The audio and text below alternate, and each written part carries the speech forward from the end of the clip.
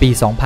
2557 เศรษฐกิจไทยยังเต็มไปด้วยความไม่แน่นอน และความท้าทายที่จะเติบโตอย่างแข็งแกร่ง และเต็มศักยภาพ แม้ว่าหลายสำนักพยากรณ์จะประมาณการอัตราการขยายตัวของเศรษฐกิจไทยในปีหน้า ว่ามีโอกาสเติบโตได้ในระดับ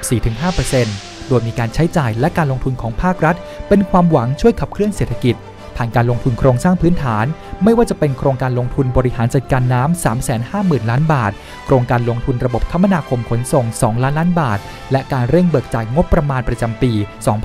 2557รวมทั้งมีปัจจัยหนุนจากภาคของการส่งออก ที่คาดว่าจะปรับตัวดีขึ้น ตามภาวะเศรษฐกิจโลกที่ดีขึ้น ซึ่งกระทรวงพาณิชย์ประมาณการส่งออกปีหน้าจะเติบโตในอัตราไม่ต่ำกว่า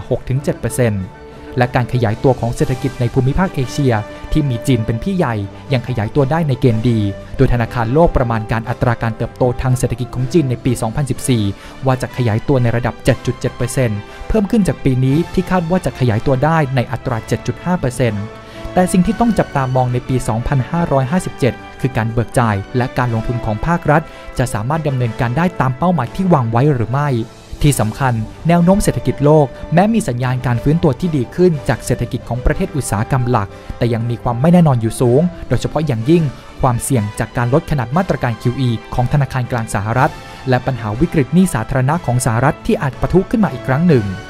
ความไม่แน่นอนจากการลดขนาดของมาตรการ QE ว่าจะลดลงเท่าไหร่ และจะดำเนินการเมื่อไหร่ สร้างความวิตกกังวลในตลาดการเงินโลกค่อนข้างมากนำมาซึ่งความผันผวนของเงินทุนเคลื่อนย้าย และอัตราแลกเปลี่ยน ที่บั่นทอนการเติบโตของเศรษฐกิจโลก เพราะฉะนั้นแนวโน้มเศรษฐกิจสหรัฐ ยุโรปและญี่ปุ่น แม้มีสัญญาณดีขึ้น แต่การฟื้นตัวยังคงเปราะบาง ทั้งจากปัจจัยภายนอก และปัจจัยภายในของแต่ละประเทศเอง ส่งผลให้กองทุนการเงินระหว่างประเทศหรือ IMF ปรับประมาณการ GDP โลกในปี 2014 จากเดิมที่คาดว่า 3.8%ลงมาอยู่ที่ระดับ